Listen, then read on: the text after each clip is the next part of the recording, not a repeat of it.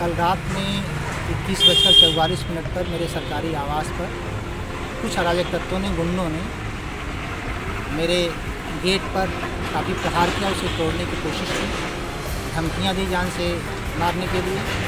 और जब मैंने उनसे परीक्षा की तो उन्होंने कहा कि खोलिए तो अभी मैं आपको सुला देता हूँ। और बहुत सारी बातें कहें जिसको मैं शेयर नहीं कर सकता और इसी संदर्भ में आज मैंने पुलिस अधीक्षक से मुलाकात की। और सुरक्षा की मांग की है, उनका आश्वासन है। कि शासकीय कार्य में जो भी बाधा होगी, उसको नियमों के परिधि में उनके द्वारा दूर किया जाए और सुरक्षा इस संबंध में उन्होंने इस बात की मांग की है कि इसकी जाँच करा के कार्रवाई की जाए। और उन्होंने एक कॉलेज प्रबंधन पर भी आरोप लगाया है कि उनको शक है कि ये लोग उन्हीं के द्वारा भेजे गए इस संबंध में क्षेत्राधिकारी नगर को जाँच दे दी गई है और जो भी जाँच से क्लियर होगा उससे आवश्यक कार्रवाई हाँ। उन्होंने अपने प्रार्थना पत्र में सुरक्षा की भी मांग की है।